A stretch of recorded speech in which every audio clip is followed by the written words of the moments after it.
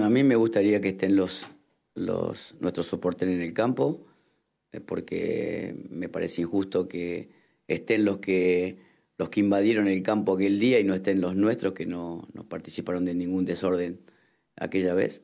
Eh, y que una decisión de excluir a un público que no hizo nada por incluir a alguien que cometió un, delito grande, eh, ahí, ahí entra un poco la justicia, la injusticia, de, la evaluación de quién merece estar y de quién es sospechoso para que no esté.